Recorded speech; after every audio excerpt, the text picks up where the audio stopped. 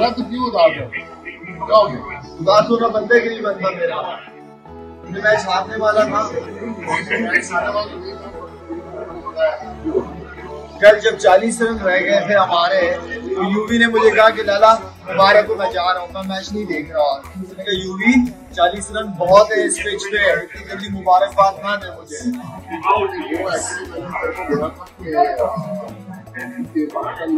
but में विश्वास था कि हम राज़ी जीत सकते लेकिन हार ही चलती रहती है बट इस इम्पोर्टेंट में बारह ग्यारह सोलह मिनट